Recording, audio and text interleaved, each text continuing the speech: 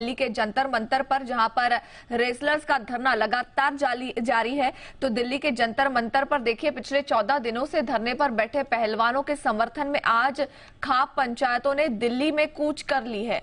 खाप पंचायत और किसान संगठनों ने जंतर मंतर पर महापंचायत करने का ऐलान पहले ही कर दिया था।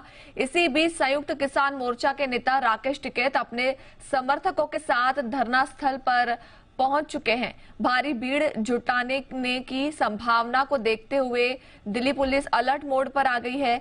सोनीपत, हरियाणा, साथ ही दिल्ली बॉर्डर पर अलर्ट जारी कर दिया गया है। सिंघू बॉर्डर पर भारी पुलिस बल भी तैनात है।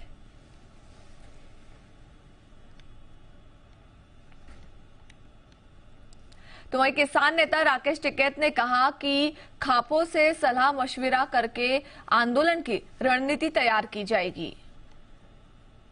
हमारे साथ बात करने के लिए इस समय राकेश टिकैत जी हैं जो जंतर मंतर पहुँचे हैं। टिकैत साहब टिकैत साहब अभी आज आप यहाँ पर पहुँचे हैं जिस तरीके से आज महापंचायत हुई क्या लग रहा है कि एक बड़ा निर्णय जो है हाँ, वो पहलवानों के समर्थन में आप होगा बड़ा निर्णय लेंगे। बड़ा निर्णय। पहलवानों के समर्थन में बड़ा निर्णय लेंगे। बिल्कुल आज जिस तरीके से किसानों को हाँ, रोका बता क्या निर्णय अजय बैठन दो दो खाप पंचायत के सब लोग आएँगे वही तो ठीक है जी आज जिस तरीके से किसानों को बॉर्डर पे रोका गया गाड़ियाँ चेक हुई रसद का हाँ। सामान रोका गया हाँ। क्या कहना चाहिए?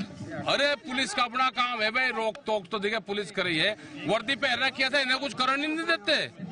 वर्दी पहन रखी रोक टोक तो पुलिस कराई करें। हमारे साथ बात करने के लिए राकेश शिकैत जी थे, जिनका कहना है कि आज जो महापंचायत है, वाकई में एक बड़ा निर्णय जो है, वो होने वाला है। और उसके बाद यहाँ पर जिस तरीके से आज महापंचायत होनी है, महापंचायत के बाद एक निर्णय जो है, पहलवानों के समर्थन में वो सामने आएगा। आदित्य प्रताप सिंह, जी मीडिया, दिल्ली।